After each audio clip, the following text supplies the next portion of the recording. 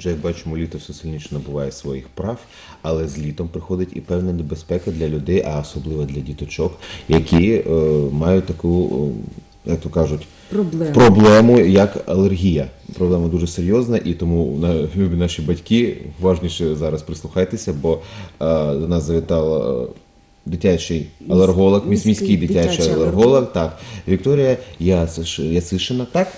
Доброго ранку, вітаю Доброго вас, ранку, вітаємо вас. Анатоліївна. Е, Ми дуже раді вас бачити, тому що знаємо, що е, алергії серед діток зараз ну, це дуже велика проблема і для дітлахів, і для їх батьків. Наскільки от важливою сьогодні, влітку такого чудового літнього дня є наша актуальною є наша бесіда. Э, Конечно же, лето очень хорошо для здоровья ребенка, но она, летом мы имеем достаточно много проявлений аллергической, э, аллергических реакций. Это пыльцевая аллергия, это пищевая, это инсектная аллергия и всевозможные разные искушения, которые родители предлагают своим детям, конечно, приводят к тому, что у детей появляются впервые проявления аллергических реакций и усугубляются те, которые были раньше.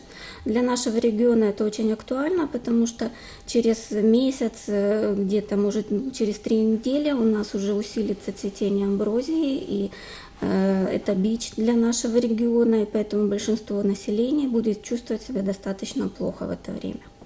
Ну що ж, як попередити ось таке загострення алергічне і як уникнути негараздів, пов'язаних із алергією? Про це ми говоримо з нашою гостею, е, міський дитячий алерголог Вікторія Яцишина у нашій студії. 76 92 42, номер студії, телефон прямого ефіру. А у нас є сюжет. Давайте подивимось.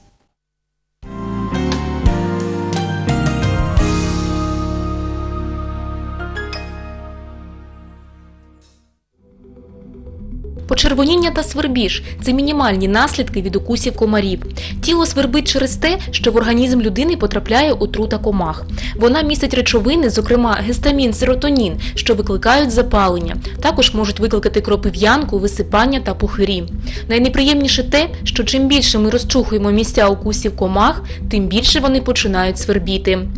Найтяжчі наслідки укусу комах це анафілактичний шок. У цьому разі відбувається втрата свідомості, падіння артеріального тиску, і якщо вчасно не надати медичну допомогу, це може мати літальні наслідки. На щастя, такі випадки рідкість. Проте людям, які мають захворювання шлунково-кишкового тракту або страждають на алергію, треба бути особливо обачними. Повністю застрахуватися від укусів мошок неможливо. Їхня слина містить знеболювальні речовини. І тільки коли мошка вдосталь нап'ється вашої крові та полетить, лише тоді ви відчуєте свербіж та помітите укус. Та якщо доросла людина ще може потерпіти і не чесати укушені місця, то діти ні. Тому малюкам потрібно ефективно допомогти впоратися зі сверблячкою та зняти набряк. Отож, що робити, якщо дитину вкусив комар? Як правильно використовувати захисні засоби та які алергічні реакції найбільш небезпечні і вимагають негайного звернення до лікаря? Запитаємо у алерголога.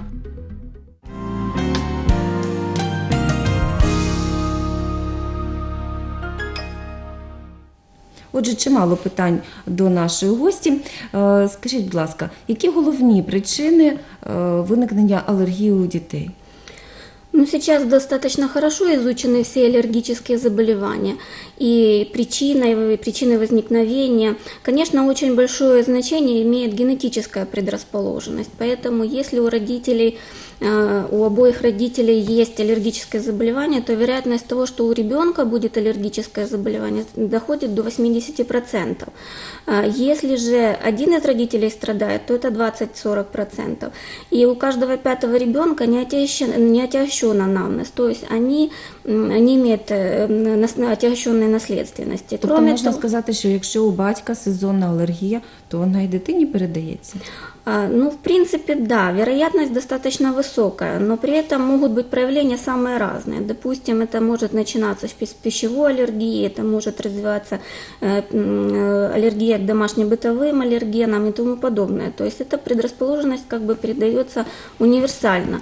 Но если в семье большое количество, э, э, то есть в- из поколения в поколение, допустим, есть бронхиальная астма или полинос, то вероятность достаточно большая, что именно это будет заболевание у ребенка. А, Начинается это в достаточно раннем возрасте, это может быть грудной возраст, особенно если мама страдает аллергическим заболеванием и его обострение приходится на последний триместр или на начало периода кормления грудью, то вероятность развития аллергических проявлений у ребенка на первом году очень высока. Поэтому, конечно же, все мамы должны пройти консультацию э, у аллерголога, э, получить рекомендации по питанию, э, получить рекомендации по купированию симптомов аллергического заболевания, особенно полиноза, который у нас проявляется в большей степени июль, август, сентябрь. И если припадает период родов на этот период, то мама должна получать лечение. Ну и, соответственно, если вы подозреваете какие-то проявления аллергии, обратиться э, к детскому аллергологу для того, чтобы исключить или подтвердить это заболевание. А які ж прояви алергії можуть бути, і е, як з'ясувати саме, що це алергія, а не якесь інше за- захворювання з Страшні подібними Галю, страшні симптомами? можуть бути прояви. Все зависит от возраста ребенка. Если это младший возраст, то чаще всего это проявление в виде пищевой аллергии, высыпания э, на теле. Они могут быть разной локализации, могут быть по всему телу. Обычно мы называем это диатезом, родители называют, э, смукнутием щечек э, и других мест. Э, Конечно же, связано с, с искусственным питанием, введением прикормом или разными погрешностями в диете, которые мама, ну, хочет мама клубнички покушать там или еще чего-то. Она, естественно, ест не одну-две, а достаточно много. А потом И пот- ребенок от этого а потом ребенок от этого страдает. Э, Может быть э, в младшем возрасте проявление инсектной аллергии в виде Тобто від реак- комах, так? Реакція на комах, на укуси А, комах. На укусы э, насекомых. Э, Значит, она может быть самой разной. У детей встречается чаще всего в виде э, отека местного, уплотнения, зуда, покраснения на укусы различных насекомых.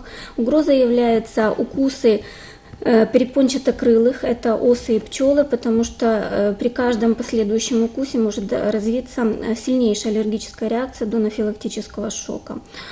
Кроме того, родители, должны быть насторожены в отношении проявлений немотиви- немотивированного насморка у ребенка, без проявления температуры, заложенность носа, чихания, э, какие-то непонятные покашливания, которые не сопровождаются обильными катаральными явлениями, а также проходят без температурной реакции. Если это повторяется с сезона в сезон, допустим, каждый год в течение двух-трех лет, они должны обратиться для, для консультации к врачу исключения аллергического заболевания, такого как полиноз. Полиноз – это э, э, сис- ну, система заболеваний, которые имеют одну этиологию. Это аллергия к пыльце э, растений может проявляться самыми разными заболеваниями. Это может быть дерматит, это может быть крапивница, аллергический ринит, вплоть до бронхиальной астмы. Скажите, Чого? пожалуйста, Тобто е, ось Подожди, такий е, подожди. діатез, я хочу завершити про е, це. Діатез, е, на який мама може не звертати увагу, може завер... або якийсь там насморк, нежить, е, це може бути се- ознакою серйозного захворювання. Конечно, то есть родители должны обращать внимание, особенно если в их семье есть какие-то проявления аллергического заболевания. Э, Кроме того, конечно, э, если нетипично ребенок болеет, он переходит из болезни в болезнь, то есть он часто болеет, э, каждый месяц, два раза в месяц, и при этом такое состояние, что он постоянно в этом состоянии, ну, состоянии не выходит из него.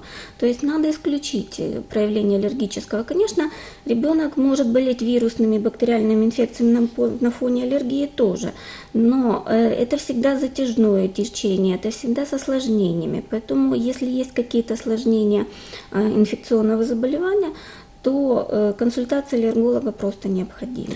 Скажите, какая э, вот первоочередные, скажем так, действия должны быть родителей, вот, особенно при аллергии, вот, связанной сейчас с цветением трав, да, с амброзией, наиболее опасные, да, то, что может вызвать отек, да, вплоть до анафилактического шока. Какие э, вот, первоочередные действия родителей должны быть экстренные, если видят, что ребенок начинает задыхаться, кашлять, чихать, что нужно делать? Потому что понятно, что с Значит, пищевой там все сложнее Да, сложнее. Э, В первую очередь надо обратиться в лечебное учреждение. Но если нет такового, люди денег Заниматься самолечением очень вредно. Э, Почему? Потому что существуют определенные дозировки лекарственных препаратов для всех возрастов. Родители не могут этого знать. Поэтому э, перед тем, как ехать куда-то отдыхать, проконсультируйтесь у врача, есть или нет аллергического заболевания. Если его нет, вы можете спокойно ехать и отдыхать. Если есть проявление аллергического заболевания в виде полиноза, то э, начинать лечение, базисную терапию надо до начала цветения за одну-две недели. Обычно я прошу всех своих пациентов обращаться ко мне в июне месяце для получения рекомендаций, и в дальнейшем они остаются защищенными на весь период цветения до середины или конца сентября месяца, и таким образом они избегают возникновения таких угрожающих состояний.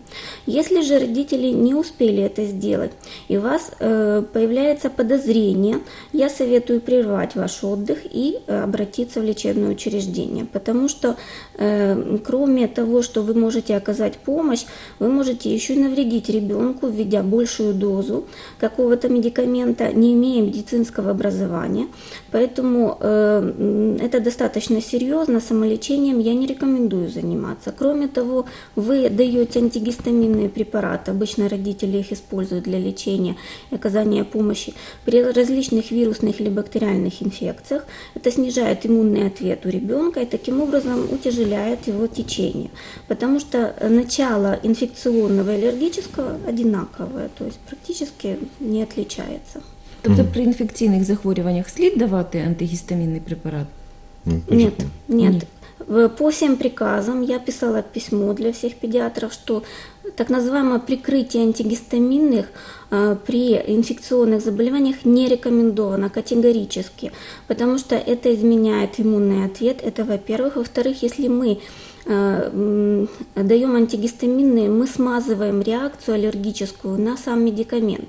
К сожалению, медикаментозная аллергия существует и в детском возрасте. Она немножечко отличается, потому что на, сам, на само действующее вещество бывает крайне редко аллергическая реакция. Бывает реакция на сироп с красителем, э, с подсластителем и тому подобное. Поэтому э, это немножечко смазывает эту всю картину, мы на это не обращаем внимания, а потом при повторном приеме возникает достаточно сильная аллергическая реакция, требующая медицинского вмешательства. Немного о пищевой аллергии. Вы затронули тему того, что очень важно матери, которая кормит ребенка да, в период кормления, а, соблюдать определенную диету, если показала, то есть на ребенке видно, что пошла какая-то аллергия. Вспомнить, что кушали, да? Э, Как опять же действовать, какую диету выбирать? А, Ну, даже в интернете есть э, продукты, которые обладают, перечень продуктов, которые обладают высокими аллергическими свойствами. К ним относятся рыба, яйца, э, красно окрашенные, оранжево окрашенные продукты, орехи, некоторые специи. Поэтому, конечно, желательно эти продукты исключить из рациона ребен... э, матери э, во время периода кормления, ну и беременности тоже, если есть какие-то проблемы с вынашиваемостью ребенка, потому что иммунная система ребенка внутриутробно, она устроена уже по аллергическому типу, и после рождения она должна перестроиться. Если мы постоянно подкидываем какие-то антитела, антигены для э, стимулирования аллергического, аллергической ветки иммунитета, то в дальнейшем это перестраивается э, на аллергический тип, и мы получаем аллергика. То есть э, даже не имея генетики, в некоторых случаях э, это может способствовать развитию вот, дальнейшим аллергических заболеваний. А Как бороться уже, когда ну, свершился факт, да, у ребенка аллергия, потому что ничего не поделаешь, надо что-то делать. Какова этапность этого лечения? З'їв, сун, е, з'їв суничку, вже дитина. Да, и все. І не давати, Сел шоколадку, да, и, по- и, и все. і не давати шкода, бо хочеться влітку вітамінчики, якісь, е, щось порадувати дитину. І дати, і знаєш, що вже А буває так, коли дитина не їсть шоколаду до дорослих років, не тільки А, шоколаду. Дело в том, что аллергия или она есть, или ее нет. А, Если ребенок контактирует с аллергеном, значит есть заболевание. Если он не контактирует, заболевания нет. Поэтому самое первое, первое это эли- элиминационная диета, то есть исключение аллергена. Доза не зависит Э, То есть это может быть небольшое количество, это может быть большое, вызовут они одинаковую реакцию. Поэтому давать продукты, на которые мы определили аллергическую реакцию, надо исключить однозначно. Многие люди всю жизнь не едят некоторые продукты, особенно это каса- касается рыбы, достаточно сильный аллерген. Э, Многие не едят до определенного возраста. Э, С возрастом к пищевой аллергии может развиваться так называемая толерантность. То есть за счет э, возрастных изменений, то есть со- созревает пищеварительная система, немножко вырабатываются блокирующие антитела, и таким образом человек в небольших количествах их может кушать. Но тем не менее, если было проявление анафилактического шока, мы исключаем эти продукты и другие вещества 100% на всю жизнь.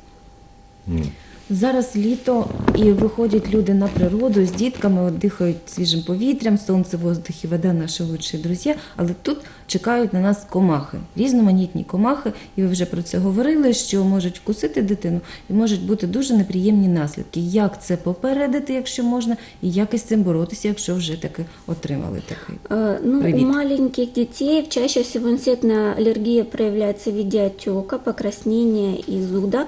И э, она встречается до определенного возраста, потому что это такая неспецифическая защитная реакция на укусы, на раздражитель, который попадает вместе с укусом, со слюной или кровью э, самого насекомого. И э, в дальнейшем она может проходить.